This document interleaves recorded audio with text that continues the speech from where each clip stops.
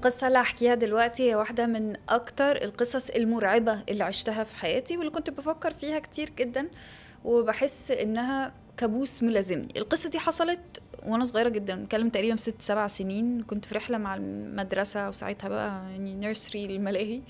وكنت مبسوطة طبعا جدا خصوصا إني بقى يعني مع صحابي ومدرسيني وحاجة بقى بره دايرة أهلي ويعني إحساس بقى غريب أول مرة أحسه يعني كطفلة صغيرة جدا.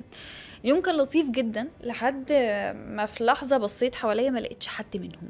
فضلت أدور على زمايلي وعلى المدرسين وكل الناس اللي جاية معاهم بس مش لاقي حد خالص. طبعا لحظات مش قادرة أوصفها عدت عليا وأنتوا أكيد متخيلين شعور الطفلة أصغر من الطفلة تايهة وأكيد كنت مرعوبة. بعد شوية رحت على جنب كده وقعدت أعيط بقى واصوت مش عارفة إيه ومش عارفة أعمل إيه. قرب مني شوية ولاد في نفس سني تقريبا. فاكرة شكلهم كويس جدا. فاكرة حتى ألوان التيشيرتس اللي كانوا لابسينها. فضلوا يرخموا عليا شوية وأنا بقى مكملة عياط وخوفي عمال بيزيد مش عارفة أعمل إيه. لحد ما واحد من الأمن في المكان خد باله وجالي وكان لابس نضاره مدوره شكلها لذيذ كده. وبعد معاناة عرف يطلع مني كلمتين وخدني ورجعني لمشرفين الرحلة اللي كنت جاية معاهم وتمام.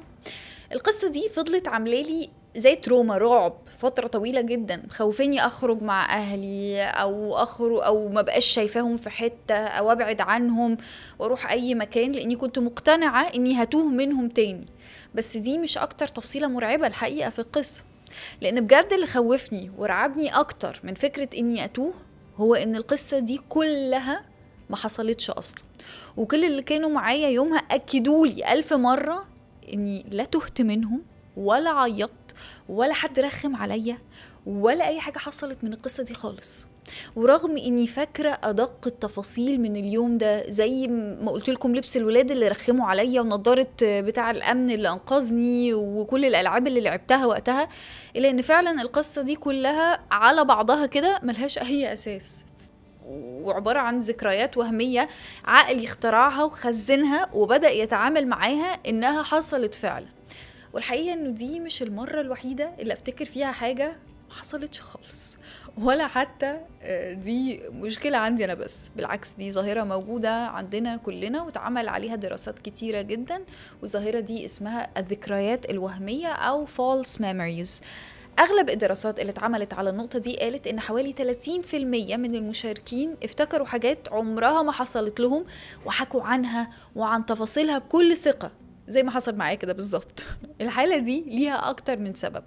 أولهم وده يمكن أكتر سبب منتشر فيهم. هو المعلومات الغلط اللي بتتقال لنا من ناس بنثق فيهم. يعني مثلا لو ليك حد من أصحابك بيحكي ويكرر أكتر من مرة قصص عن موقف معين اتعرضتوا له أنتوا الاتنين سوا وانت مش فاكر الموقف ده خالص. بعد كذا مرة بتبدأ تتعامل إن الموقف ده فعلا حقيقي وبيبدأ مخك يزود تفاصيل أكتر ويملى الفراغات اللي, صاحبك ما حكاهاش في القصة لحد ما تتحول القصة ليقين كامل عندك. أنت بقيت بقى بتقول معاه بتعلي عليه بقى إن هي حصلت. أنتوا الاتنين تعلقوا على بعض إن القصة دي حصلت. الفراغات دي بقى هي السبب التاني. إحنا عموما كبشر بنكره المجهول بنخاف من أي حاجة مش شايفينها أو مش عارفينها. زي ما بنخاف من الضلمة. لأننا مش عارفين إيه اللي حوالينا. فمن غير ما نحس بنعمل كل حاجة علشان نخلص من المجهول ده. والمجهول في ذكرياتنا هو الفراغات اللي مش قادرين نفتكرها. وعلشان كده ممكن نخلق ذكريات كاملة من العدم ونضيف لها تفاصيل ومشاعر ونحولها لحقيقة عشناها علشان ما يبقاش في أي فراغ في ذكرياتنا. وده بالظبط اللي حصل معايا في حكاية الرحلة. أنا فعلا ما كنتش فاكرة أي موقف مميز من اليوم ده. عشان كده مخي خلق القصة اللي حكيتها لكم في بداية كلامي. ومع الوقت اتحولت لحقيقة مطلقة في عقلي. مفيش بقى. أما السبب الثالث فهو إن مصدر الصورة أو الذكريات اللي موجودة في عقلك بي بيختلط عليك. يعني مثلا إنك تشوف مشهد في فيلم أو حتى حاجة حلمت بيها ويعدي عليها وقت طويل وهي في عقلك بس أنت مش قادر تفتكر شفتها فين تحديدا. يعني في صورة هنا أنت مش عارف أنت جبتها منين. فيبدأ مخك أو تبدأ دماغك تخلق حوالين الصورة دي قصة كاملة علشان تبقى مفهومة بالنسبة لك. والقصة دي طبعا بتتحول لجزء من ذكرياتك اللي مستحيل تصدق بعد كده إنها مش حقيقية أصلا. الفكرة دي طبعا مرعبة مرعبة بالنسبة لي وأكيد بالنسبة لأي حد هيفكر فيها كويس لأنها ممكن تخلينا نشك في كل ذكرياتنا وخصوصا اللي مفيش حد عاشها معانا أو كان شاهد عليها غيرنا. والحقيقة إن دي نقطة خطيرة جدا لأني بشوف إنه الإنسان أصلا عبارة عن مجموع أفكاره وذكرياته ومشاعره وإن هي دي الحاجات اللي بتشكل الهوية بتاعتنا واللي بتفرقنا عن بعض. فلو شكينا وفقدنا ثقتنا فيها ده ممكن يدمرنا تماما. بس عموما الشك مش الطريقة الوحيدة اللي ممكن نتعامل بيها مع فكرة الذكريات الوهمية أو المزيفة. في طريقة أحسن ممكن تحول الموضوع ده لسلاح في إيدينا بدل ما يكون نقطة ضعف عندنا لأ نحوله لحاجة إيجابية حاجة positive والطريقة دي أنا شفتها في قصة قريتها وأنا بدور وأنا بعمل search كده على موضوع الذاكرة الوهمية ده وبحاول أفهمها. والقصة فعلا عن عبارة عن معجزة حقيقية هحكيها لكم باختصار.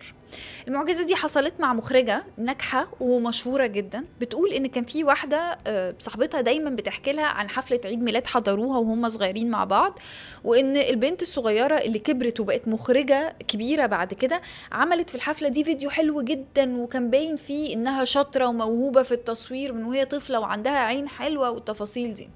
اللي حصل إن بعد ما الموقف ده اتحكى كذا مرة البنت فعلا اقتنعت بقى خلاص إنها موهوبة وإنها عندها حاجة مختلفة في التصوير وفي الإخراج وبدأت تروح تدرس تصوير وإخراج فعلا لحد ما وصلت للنجاح اللي هي بقت فيه النهاردة. متحققة جدا وشاطرة جدا. بس القصة دي فيها مشكلة واحدة بس هي إن اللي صور الفيديو ده يومها ما كانش البنت دي أصلا وكانت بنت تانية خالص. وصاحبتها اللي فضلت تحكي لها القصة دي كتير كانت فاكرة تفاصيل اليوم غلط وخلطت بين البنتين.